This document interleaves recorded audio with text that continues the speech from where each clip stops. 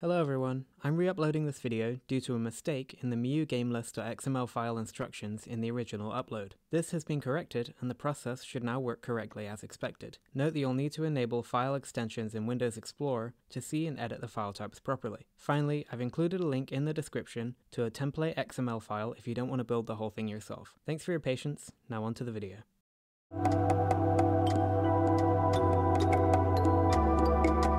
Hello and welcome back to RetroBreeze. Today we're looking at ScummVM games and how to get them running on your Miyoo Mini. ScummVM stands for Script Creation Utility for Maniac Mansion Virtual Machine. Uh, let's just keep it simple. It lets you play point and click adventure games, like the classic ones from LucasArts, Sierra, and more. Fun fact, ScummVM isn't really an emulator, it's more like a game engine that uses the same scripting language as those older games. For the most part anyway. ScummVM is easy to set up and play and there are hundreds of incredible games available. Before I go on, I absolutely have to give a massive mega thank you to Russ from Retro Game Core, who recently gave me a shout out on his channel. I gained so many subscribers from that that it's actually crazy, and so I thank everybody who subscribed as well. I look forward to bringing you the utmost quality content I can. Thank you again Russ, and I really cannot express my appreciation for your support and for being an all around awesome dude. Alright, so this video is actually going to be divided into two parts. In the first part, you'll learn how to add games to your Mini, and find out which specific files you need for each game. The second half will be about how to tidy up the game list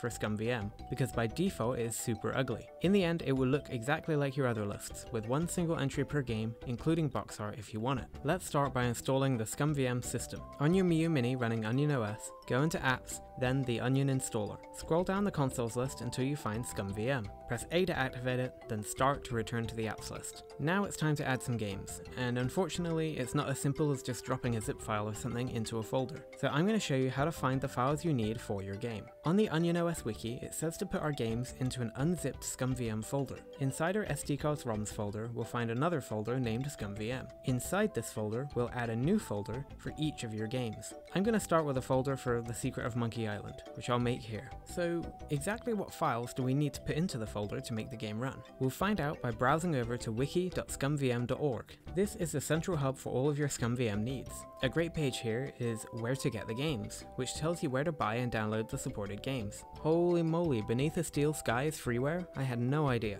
Anyway, another great page is supported games. It brings up a page with an index of all the supported games. Note that there's more than one page here. Anyway, let's just skip to the good part by using the search bar to search for The Secret of Monkey Island. Here I am on the webpage for the game. Under the installation section, you'll see the required data files. Under each bold heading are names and types of files that you need. An asterisk means that all of the files of that type are required. As you can see, many different versions of the game are supported. However, note that the CD-based versions, such as that for a Sega CD and PC CD, usually require extra steps to convert audio files. This is a very common complaint with ScummVM games, so if you find your game doesn't have any audio, be sure to check the wiki for any extra steps that you may need to take to fix it. Here I have a floppy version of Secret of Monkey Island. In this folder, we can see a bunch of LFL and LEC files. Let's reference the wiki page for the game. We can see here that we need all of the LFL and LEC files, as indicated by these asterisks. All we need to do is just copy these files into the folder for Monkey Island that I made on my SD card. Once that's done, we'll reboot the Mini, refresh our ROMs, then enter the ScummVM system.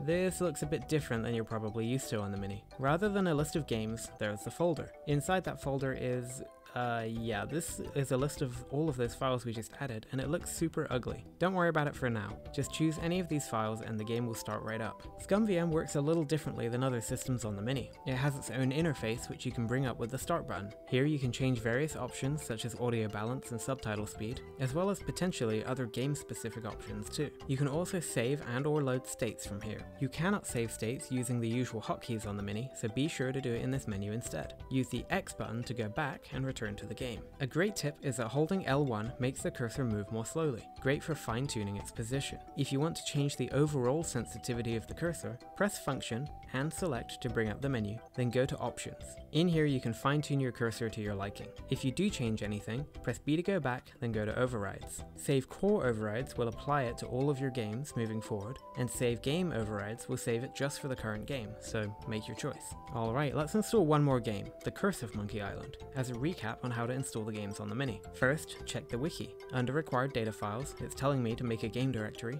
aka the folder, with the resource folder inside, and these three files as well. Note that for some games, the wiki page may have further instructions instructions such as renaming files. This is why it's very important to check the wiki for each game, especially if you have problems. I have this game already installed on my PC actually. Here's the files on the hard drive. On my mini SD card, I'm going to go into ROMs, ScummVM, then make a new folder for the game. Now, as the wiki instructed, I'll copy the resource folder and the other files. With that done, I refresh my ROMs and I should find the folder within the ScummVM system. Running any of these Komi files starts the game, and this one looks absolutely beautiful on the Miyoo Mini. Each game may require different files and steps, but that's the gist of playing ScummVM games on the Miyoo Mini. One more time, check the wiki for the required files, make a folder for the game in the ROM's ScummVM folder, then drop those files in. Alright, that's the first half of the video out of the way. Now, what about that game list? Nobody likes a dirty game list, so let's fix this up. We're going to use a very special feature of Onion OS called MiyooGameList.xml. By setting this file up, the game list will ignore all folders and files except for the ones specifically mentioned in that file. The first thing to do is to get our game directories ready. Open the folder that contains your ScummVM games and go into one of the game folders. Right click and select New Text File. Change the name of the text file to the title of the game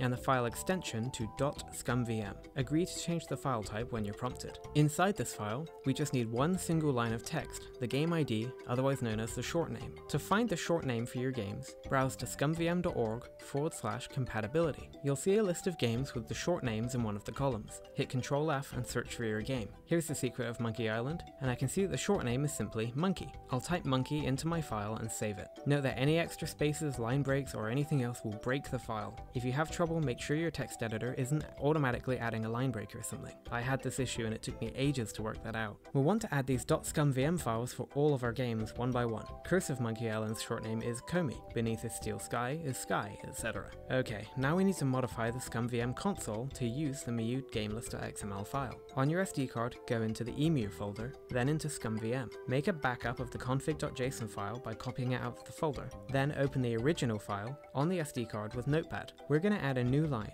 which I like to put just underneath image path because it's nice and tidy there. Make a new line and add the following, including the quotation marks and a comma.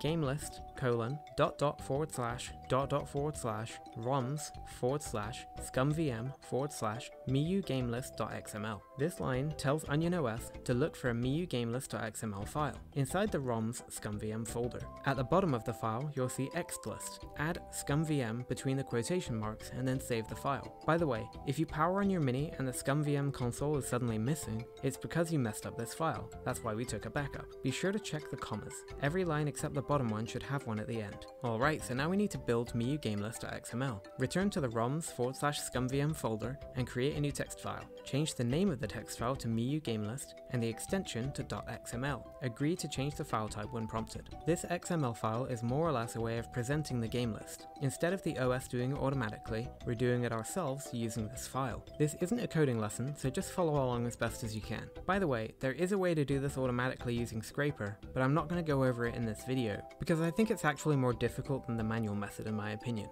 If you do happen to have just a huge collection of ScummVM games and you really want to do this automatically, let me know in the comments below. It's pretty quick to do manually though, and you'll learn something too, so let's just get to it. First, add this top line to the XML file. XML version equals 1.0, exactly how I've written it here. This line is just telling the file what type of XML file it is, we don't really care. Then we're going to open and close our game list tags. These two tags define a list called game list. The first tag opens it, and the second one with a forward slash defines the end of the list. Within the game list tags, we'll define a new game, like this, with game and forward slash game. And now inside these tags, we're going to add three properties to the game. Path, which is the path to the game itself. Name, which is the name that's going to be displayed in the games list. And image, the image or box art for the game. Let's fill this out for Secret of Monkey Island. It looks like this. Open with game, set the path to dot forward slash the secret of Monkey Island forward slash the secret of Monkey Island dot scummvm. Close path. Name, the secret of Monkey Island. Close name. Image, dot forward slash images forward slash the secret of Monkey Island dot png. Close image, close game.